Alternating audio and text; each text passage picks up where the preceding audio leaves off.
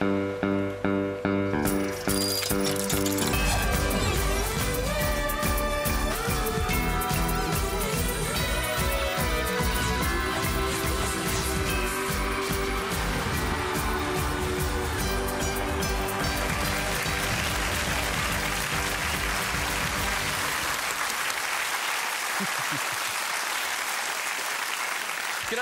name's Adam Hills. Welcome to Spicks and Specks, the music quiz show in which two teams battle it out for music supremacy. Our two team captains each and every week are the salacious Alan Brough and the sagacious Myf Warhurst. Alan's first guest tonight is one of Australia's best loved stage performers. She's released three albums, performed in such musicals as Phantom of the Opera, Cats, and West Side Story, and is currently appearing in Guys and Dolls. It's a pleasure to welcome to the show Marina Prior.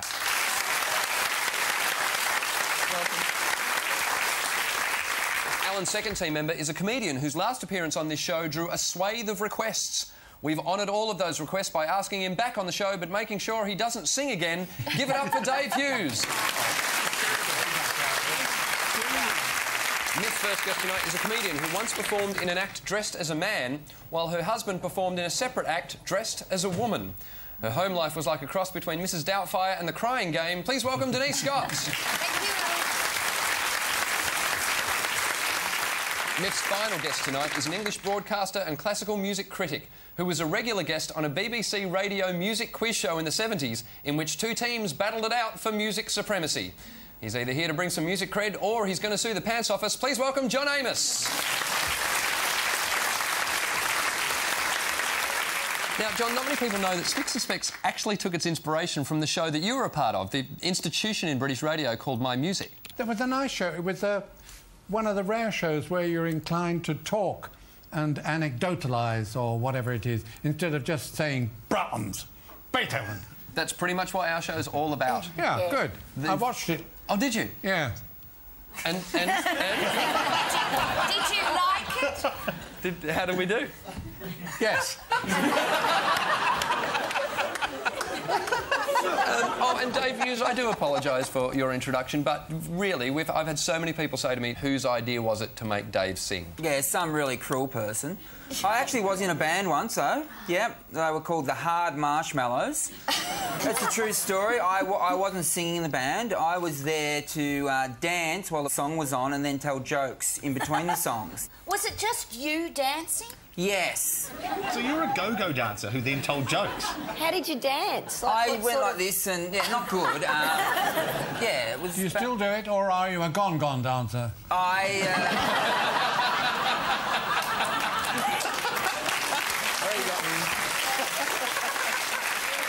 I actually have to do a fan dance in Guys and Dolls. But Really? It's a, well, it's a mink dance. Oh, so you have like a mink, You hold it over your bits and you. And would you wear like a oh. nude suit No. underneath? Yeah, you're completely nude. Well, I've got I've got undies on and a microphone somewhere. The mind boggles. I didn't know until I started rehearsals. So they're spraying nudity on you. Well, yeah. I did a oh. fan dance myself. Did Well, you? Yes, but what I my point is that I've got a little flesh-coloured leotard, Yeah, no. simply with the nipples and pubic hair drawn on with a little texture. if you want, it, it looks worse than me in the nude. Are you all right, John? I'm still here. That image of me in a nude leotard hasn't distressed you in any way? I don't want to think about it. it might drive me mad. Oh. All right, our first game tonight is called Know Your Product. Your choices tonight are London, Paris, Moscow, Oh. and Stockholm. Alan can pick the first topic tonight. No, I think we'll have London. Why not? Myf? We, we'll have to go Paris, I think. Paris it is. We'll start though with London. Uh, everyone on your buses, let's play Spicks and Specks. Your first question for one point. According to his 1969 song, If Ralph McTell Took You by the Hand, where. Yes? Marina. Take you through the streets of London. He would lead you through the streets of London. Well spotted, Marina. One point for Supper Show. Next question for two points. When Phantom of the Opera opened at Her Majesty's Theatre in London in October 1986, who played the Phantom and. Yes? Michael Crawford. Yes. And Sarah Brightman. Yes. Oh. I heard that not long ago, Andrew Lloyd Webber was in Los Angeles and he met, he was at a party and he met Jay Lerner. And he said to Jay Lerner after a drink or three, um, Why is it, you think, that some people dislike me, even at first meeting? and Jay Lerner said, I don't know, but I guess it saves time.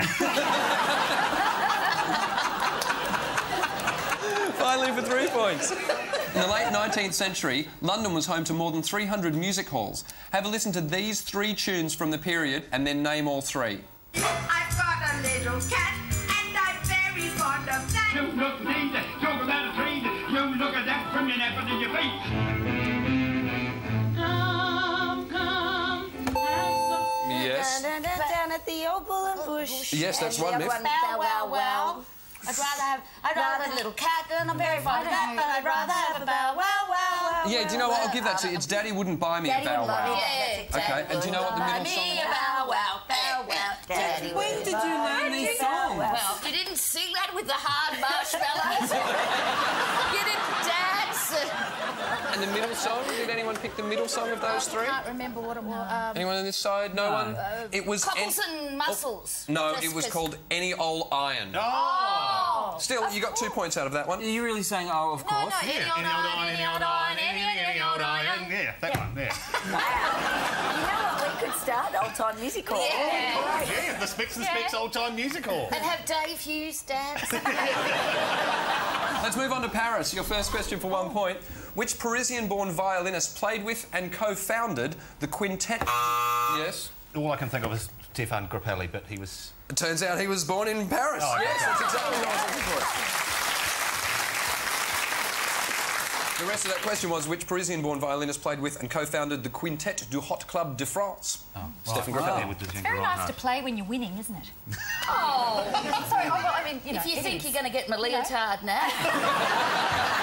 But I'm just I suppose it is nice to play when you're winning Prior. I wouldn't know.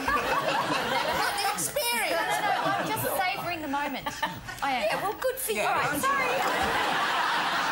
For two points, name this French superstar. Give me the title of the English version of the song. Yes. Today when I was young. Yes, and who was the French superstar? Charles Aznavour. Two points. Oh, well played. Three points on the line for your final question. Carnival of the Animals was composed by Saint-Saëns in 1886. Name three of the animals specifically mentioned in its 14 movements. Yes. Elephant, Uh, tortoise, yes. kangaroo. Yes. There are also lions and hens and cuckoos and swans and a whole bunch of others. Uh, correct. Three points out of three.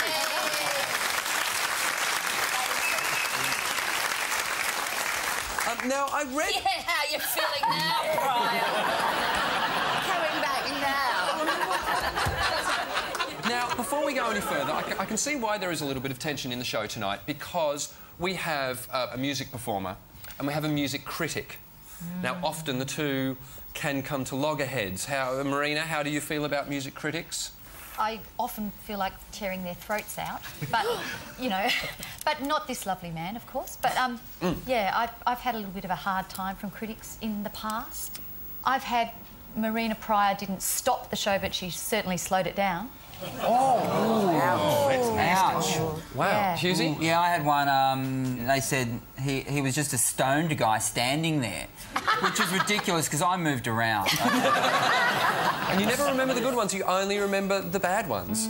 John, some of the people that you've critiqued over the years include Maria Callas. Yes. You were present at one of her performances. Oh, yes, many. And what sort of thing did you write about her? Oh, I only wrote praise. I mean, I think she was the greatest single performer I've ever heard. Right. Because even on a bad night, there was perhaps one phrase or something like that that she sang so beautifully that it absolutely pierced your soul, and she was mm. wonderful. There is a lovely thing. Yeah. Most of the names that we come across in, in, in 20th century music are people that you know. Well, it's because I'm 80 bloody five.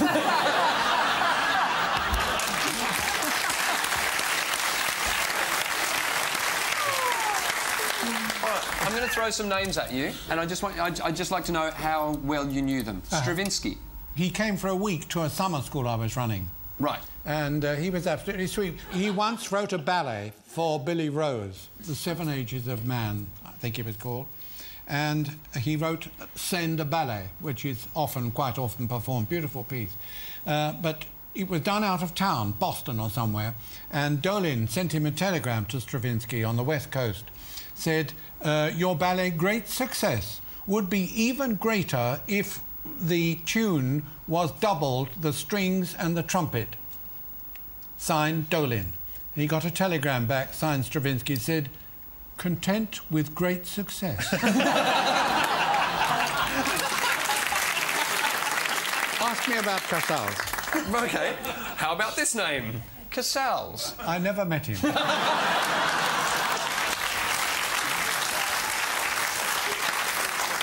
I do know that when he was 88, it was announced he was going to marry again a girl of 16 from Puerto Rico. And his doctor came and said, Look, pal, I want you to think seriously about this. This marriage could be fatal. You are 88 and she is 16. Now think about it.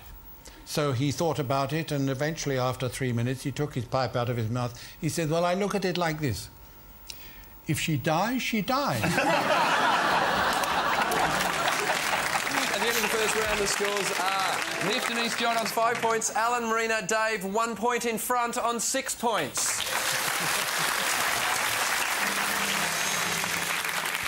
In this round, teams will have to buzz in and identify the songs being performed live in the studio. Tonight, they will be performed by Stevie Hesketh and his amazing Optigan. Yay! Truly is amazing. Now, before you even start playing, Stevie, can you describe for us exactly what the Optigan is? It's a, an optical organ. It's made in the 70s by Mattel, and it's, it's a kid's toy. And how does it work? It plays uh, optical discs, these guys.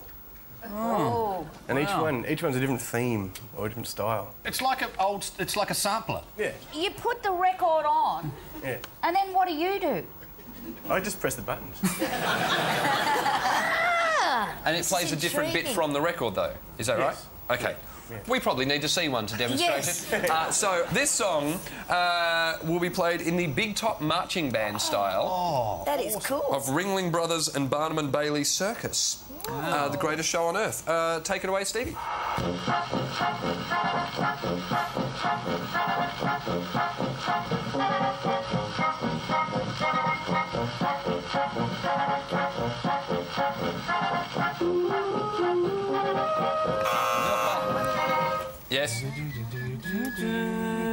Ah, du-du-du-du-du. It's a crowded house Crowded song. House. Oh, yes.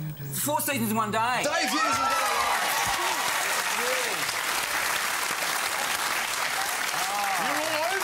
I was watching a doco on him the other night. Thank God I don't do much.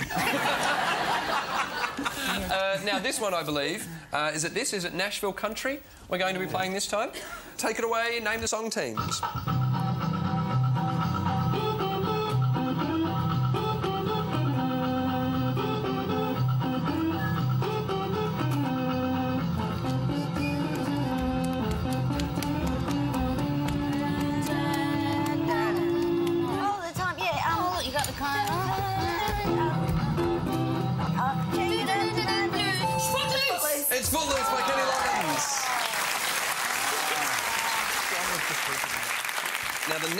Next style, I believe, is Dixieland Strut. Oh. The.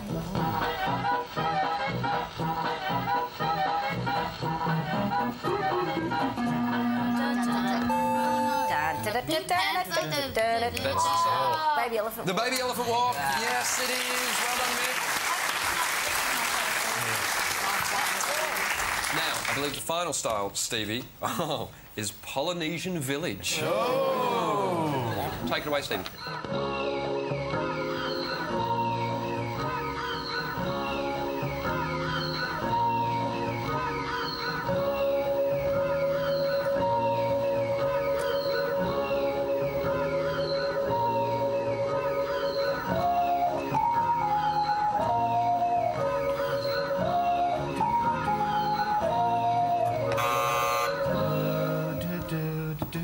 One, two, three, four by Feist. It's one, two, three, four by Feist and Sally Seltmann.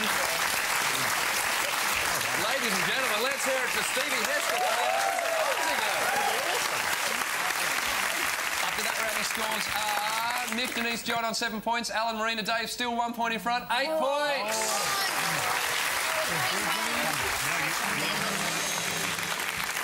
I'm going to show each team an album cover with a word or an object blanked out. You have to try and work out what is missing. Uh, Alan, Marina, and Dave are first. Here is your first album cover. That is an artist by the name of Swamp Dogg with the album title Blank On. So the word that we're missing, he's sitting on that. Indeed. Elephant on! but it's not enough words. Elephant on would have to be longer. Any idea at all? Rock on. Rock ride on. on. Jump on. For some reason, I think hog on, and I think he's riding a hog. Oh. Yep. Hog on. Okay, I'm going to go with hog on. All right, let's have a look. Oh ridiculous. What? Why? Ah. We didn't know he was a miniature man. That's just. It's a That is, rat I mean, on. there's been some ridiculous things on Yeah. the show, and I'll put my hand up as being one of them, but that is the most stupid thing I've ever seen. Myf, Denise, and John, this is your first album cover. It's Archie Moore's Blank with Soul and a Beat. The fine print there is Learning can be fun for kiddies and grown ups too. Oh. Mathematics. Mathematics. something- Yeah, he looks like a maths teacher with that cardigan on, doesn't he? Po- poetry, limericks, um, Archie Moore's. Um, Tell you what, I'll give you a hint.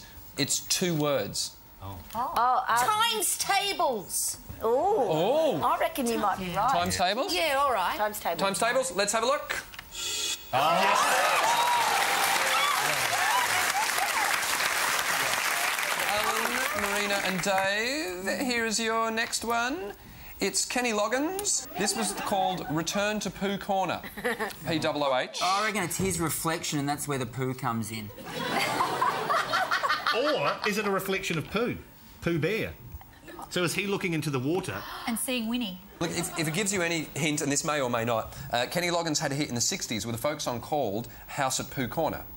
Uh, and then in 1994 released this children's album, Return to Pooh Corner.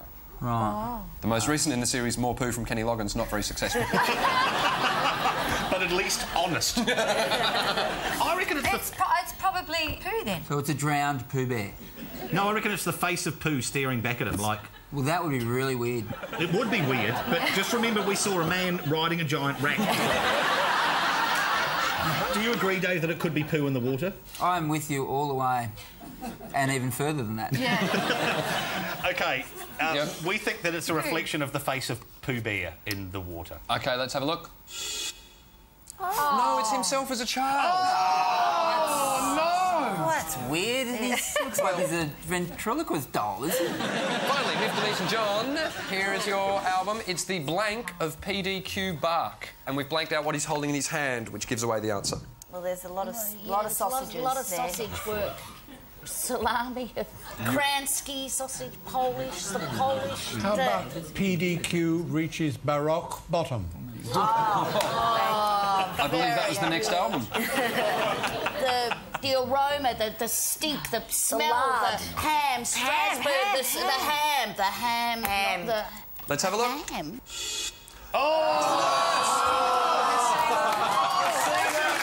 It's a play on words.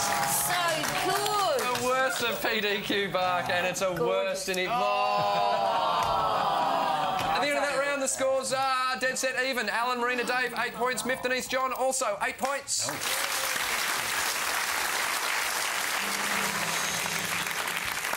four tonight is called You're the Voices. One member of each team will be singing a song for their teammates without using words. To make things tough, though, you will both be doing it at the same time.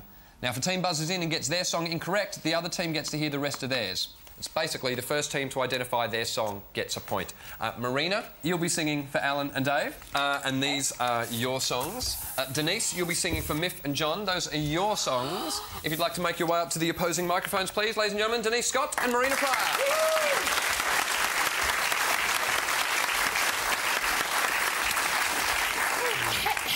Good luck, Marina. I'll say one, two, three, go, and then you go. Oh, One, two, three, go. William Tell. Overture. It's the William Tell Overture. Yes, it is. And just out of interest, uh, uh, you were doing, sorry, Marina? 1812 Overture. Yes, you were. Uh, song two for the two of you? Oh Yes? Sorry, I thought it was Star Wars. No, it's definitely not Star Wars. So, Marina, you can do the rest of yours for your team. Yeah, it's from The Sound of Music. And Yes. And it's, um, uh, uh, the song sings I call myself Do Re Mi. Yes, it is Do Re Mi. Uh, and Denise was doing uh, Over the Rainbow from Oh, The Wizard sorry. of Oz. Very, very nicely, I have to say, from over here. What were you just listening to me quietly. for? I was just sort of, you know, She's That good. tuning in. Uh, the song three, both players. One, two, three, go. Yesterday. Sorry, bud. Yesterday. It was Yesterday by the Beatles. Yes, it was. Alan got the point. And I believe Denise was doing Love Me Tender Yeah. by Elvis Presley. Okay. Uh, fourth song. One, two, three, go.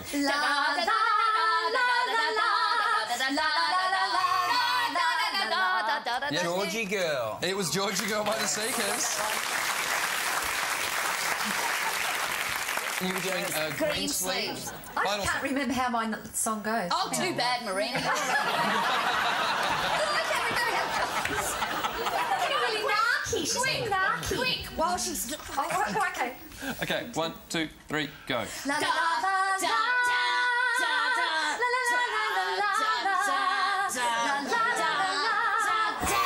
Sounds like Better Be Home Soon by um, Crowded House. Yes, it was.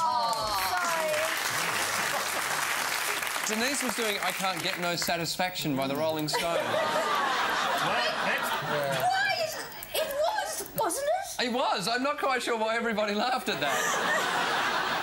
I think there's a word called irony. I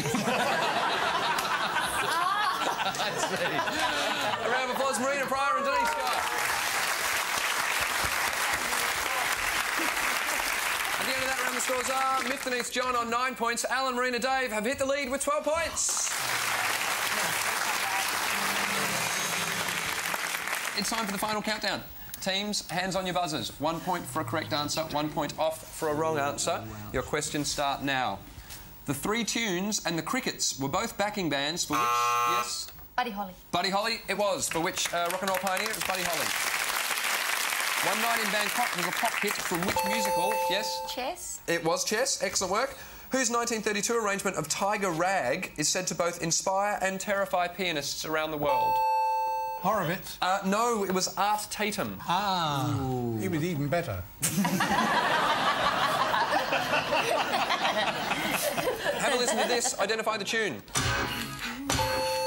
Yes. Oh, baby, baby. It's Britney. Oops, I did it again. Uh, yes, it is. Oops, I did it again by Britney Spears. Well done, Matt.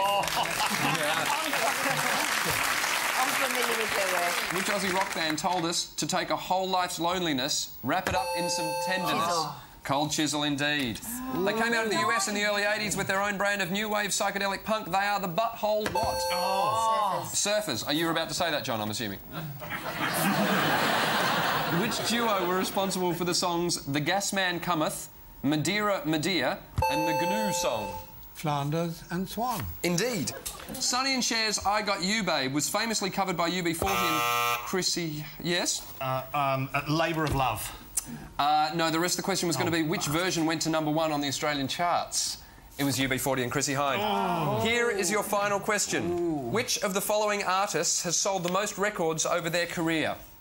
Johnny Cash, Eddie Money, Peter Buck, or 50 Cent? Yes. 50 cents sold a fair few million. I'll go with that. It was Johnny Cash. Of course it was Johnny Cash. At the end of the show, the final scores were Myf, Denise, and John ended up on 12 points, and so did Alan, Marina, and Dave. Also. Yes. We do have a tiebreaker question. Uh, the first team to answer it correctly will win the show. If you get it wrong, though, all the clues will go to the other side. Who am I? Born in North Texas in 1936. I started my first band, the Wink Westerners, at age 13. I signed to Sun Records and had a hit with Ooby Dooby in 1956.